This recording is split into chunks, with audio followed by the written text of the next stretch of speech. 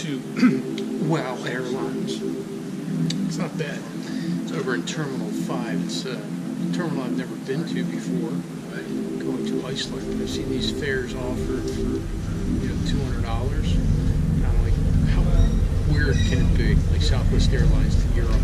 So far so good. You know, a little package that um, backpack that I have that size is uh, free. So I guess if you're going for long weekend, you can get it all in one little backpack. You're good. You don't have to pay for any extra baggage, and even the extra overhead bag is is only like forty bucks, maybe. So so far so good. You know, less people in this terminal, less people at the check-in. So we'll see how the flight goes. I get it because this is the size of the backpack. That's free. And then I paid some money for that because that's my Paid or no? you know, my camera here. I'll put that check in because it'll go away. I don't care what airlines it is. Got a nice camera in there. It ain't, it ain't going in the luggage. Okay, night flight to Iceland. Never been to Iceland before. it's kind of cool. I could see Bjork. Say she'll take uh, some Bitcoin. You know, I'll go into the the store there. Say, hey, you got Bjork's new album? Can I buy it with some Bitcoin? See how that works out. Well, the seat was kind of cramped, and it's funny because I had to ask for ice from a lady from Iceland. Haha, get it? They had water, but it was like three bucks a bottle, and my wallet was up in the overhead, and I just didn't want to get it out. It's like uh, three degrees out, little snow here. This is the craziest. This is the craziest morning I've ever seen. They they come through this door over here, and then they come out here to a bus. It's not like a connection like I've ever seen before. But it's five o'clock in the morning. I guess it could be dark all day. I don't know. but it's fun. The seat was terrible.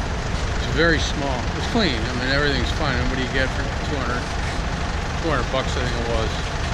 to Go to Europe.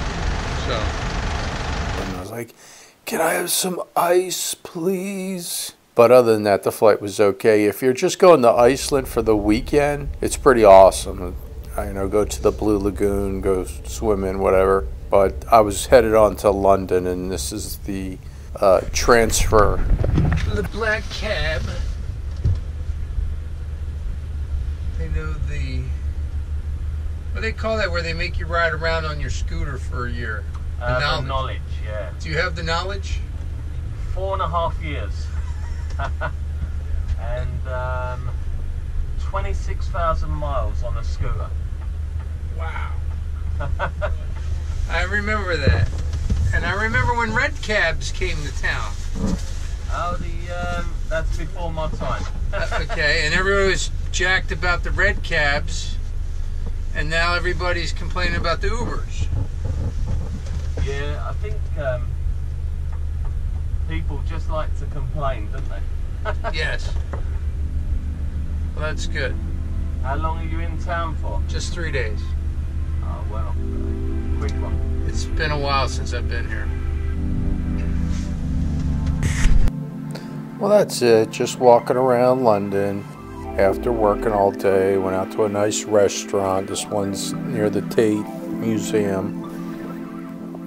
You know, it's kind of cool walking around London around Christmas time and, you know, seeing black cabs. It's, it's London. It's just kind of cool. So then I had to go work and do all these other things. But all in all, it was a pretty good start of a trip. And then I went to Geneva and France and flew back through Poland, which I'll put some videos up for later. Thanks for watching and subscribe.